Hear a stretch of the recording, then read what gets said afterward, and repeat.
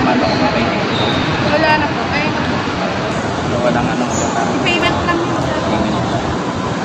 Ang da- ang dami pala ng violation niya. Kayo ilan ang violation niya? 35 po. Ah, Kaya nagulat kami sa ano siya, kasi dito kayo, owner- dito kayo mara para di kayo matalikod. Ilan ang talikod lang? Ilan, ilan ang violation niyo? Yan, pwede na. 35. Nagulat kami kasi second owner lang kami. Second yung- owner? Second owner kasi yung first owner siguro naibigay na yung ano yung summon or what yung violate ano ng antikat nila hindi namin alam nagkagulo-gulo lang kasi may mga kakilala ay gulat ako ganito, ganito na pala yung violation nung chinek namin sa website yun na po, ang dami. Eh, ang problema namin ngayon is, yung mga operator, kalahati lang ang boundary. Saan namin kukunin yung bound, ang maintenance? Tapos yung may-ari, nagkakasakit pa. Eh, pa- paano yun? Hindi namin, hindi na namin mabaya, hindi namin, kung hindi namin kayang bab- babayaran yun, anong mangyayari sa amin na operator? Tutuluyan ng mawawala. O, 35 Violation. Nagkaroon ilan ng ang drive, ilan ang driver na Isa lang po siya. isang driver, ilan ang na gina-violate niya ng traffic? Basta nakita ko lang po sa website na mayroon na siyang violation yung sasakyan. Pero si, siya, siya mismo hindi yung driver nag-violate. Ibig sabihin napakarami niyang ah, Yung driver po, kasi hindi naman po wala na po ibang suma, ah, wala na ibang buwabiyahin sa sasakyan kundi siya lang. kung siya, siya lang. Isang driver niyo lang, kayo operator. Opo. Nabili niyo sa sakya second hand. Yes po. Tapos nung ah, lumabas na yung mga Hindi vi- na, wala, wala kaming nakitang, wala kaming natanggap. Siguro napunta siguro sa first owner kasi yung naka-address eh. ano yun, sa no contact? Yes po. Nakita lang namin sa site na mayroon na siyang violation yung sasakyan. Sa no contact policy. Na po. Ang dami naman, 35. Yes po. Hindi namin Eh alam kung magkano paano. isang Hindi ah, namin po alam. magkano multa sa isang paglabag? Halimbawa, yung Ma'am, pag ganun po mga- yung meron 2,000. Depende po. Hindi pa, na, hindi, pa, hindi pa namin alam sir kung ano pa yun eh. Kasi nakita lang namin sa Ilang taon na yung jeep nyo? mga ano na rin eh, 20 years. May, 20 years na. Naka, at least naka, ah, nakaplano na siya sa modernization. Ay, na, na pinapasok na namin siya sa modernization. Ah. Kaya ang problema ngayon, Nakapangalan sa first owner. sa first owner yung yung lahat ng mga paglabag ng sasakyan. Sino yung first owner? Hindi, ah, basta may first owner po, sir. O nga, ibig sabihin, isa, yung na-receive yung 30, 30 mahigit na paglabag, hindi sa pangalan niya. Hindi po. Ayun. Wala pa po kami na, naka- natatanggap na ano na su, su, ah, su- sulat na may may nabalab na na pero nakita lang namin sa site kasi nga pwede pa lang tingnan anytime. Oh, makikita ko sa sakyan, makita mo sa, sa ang sasakyan mo kung may violation. Eh, lately lang kami Eh nakapag baka sa ano. ibang lugar din yon. Hindi, Manila po. Lahat Manila? Kasi yung driver nyo. Nag-aasikaso po, ano, nakapila. Naghahanap ko ng paraan kung paano namin ma makahingi ng tulong. Kaso marami ano, paano mababayaran lahat yon? Kaya nga po. Sige po. Ano po, nakalagay sa, na-search po sa cellphone. Anong biyahe yung uh, papasaya ng jeep mo? Lumen Street, Baclaran, sir. Lumintit Baclaran. Apo, ang rota po. Kailan ka nag, uh, unang nagkaroon ng uh, offense? December 10, sir. December Alas 6:30 10. ng gabi. Saan? Sa Vito Cruz. Ay, yung... Ayun. Oh, Vito Cruz Tapa Avenue. Apo. Ah, Nakahinto po ako, hindi po ako meeting the red light. Nakahinto yung kaso yung um, dahil yung signal light ko walang number. Mabibigla kapag nag-yellow, automatic pe preno ka. Hindi ka tutuloy. siya. Eh, nagkataon po siguro. kaya kamukha niyan. Alang, alang, hindi naman yung grabe yung pagkaka-violate ko. Konting bagay lang. Pero dalawang libo katumbas. Oo. Obstruction of the pedestrian lane.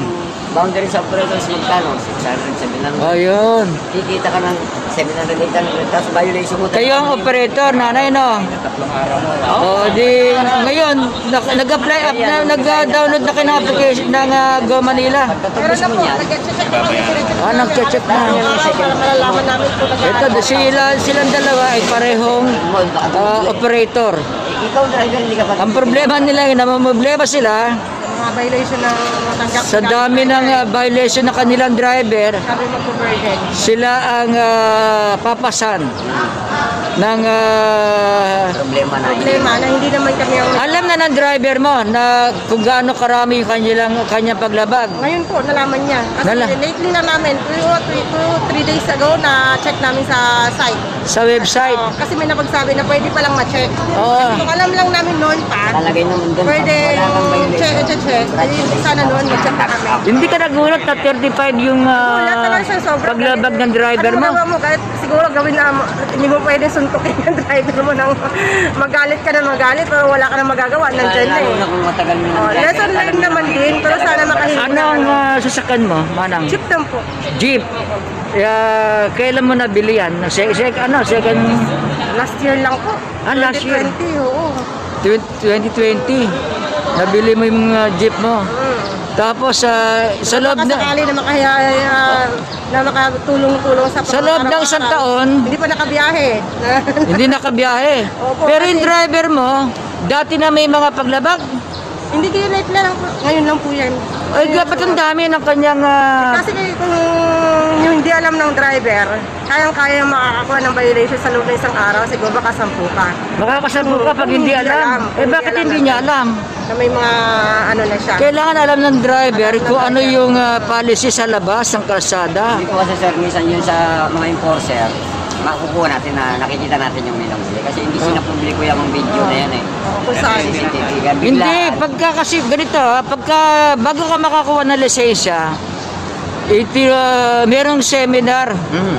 at merong exam papaano magmaneho. Mm. Kasi yung sa jeep sir, talagang kahit sabihin yung good boy ka sa pagmamaneho, hindi ka gaya nung pag-pick up ng pasahero. Kasi gusto mong kumita, kung saan yung maraming tao, Ayun. isisiksik mo yung jeep mo. Ayun ang mga paglabag mo. Yun po ang karamihan na nangyayari. Kasi hindi di ba, ikaw, pasahero, tatlo tatlo yung ba... gaganunin mo siya, pap. Dito po, bawal po dyan. Hindi sila gagalaw. Oo nga, ganito Pero nga. kasunod Pa- pakinggan mo ako. tututukan ka, Oo. yun po ang pipick up ng Oh, pasahero. ilan Eh, taon ko na nagda-drive? Mga almost 20 years na po, sir. 20 years na.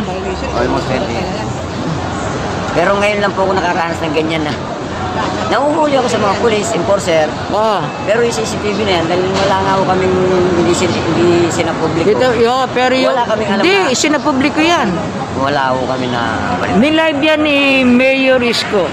Eh, hindi po namin nabalitaan, sir. Kaya Tsaka nabalita yan sa TV, ilan ibang uh, TV station, nabalita yan sa radyo, hindi lumabas sa dyaryo. Hindi na kami nakakapanood kasi. Ah, hindi ka ano. Trabaho namin, sir, sa kalsada lang eh. Yun po yung ano namin. 34 po, nagulat na kami. Kasi pwede kami makahingi na. Kahit natin sa mayor. Paano yun? Kasi babayaran niyo po lahat. Paano kung wala na kami pambayan? Kasi kaya na sa Kasi nga yung driver, meron naman silang ano, kung ano yung mga violation. Ilan yung violation lang po. nag-violate talaga yung Ah, ikaw, ilan ang violation mo? Sa, ano, ano? Yung sa white line lang po sa pedestrian. Pedestrian, ano pa? Halos, yun pa lang po yung unang pinadala. One Ah, violation. ah, isa ng violation mo. Bali, siya nakalagay. nasa ano sa cellphone po Ano nakalagay? Ano, i- pa lang po isa pa lang po yung nararating pa lang po na ah, pero yung violation ng, ikaw yung operator niya. Ikaw driver. Ano, ano, anong lumabas sa violation Gaya niya? po naman sabi ko kanina, ito yung violation niya po doon sa cellphone, three violation lang, pero wala po indicate kung ano po yun. Pero dito po kasi pedestrian nakalagay. Ah, ilan yung violation niya? Isa lang. Isa pa lang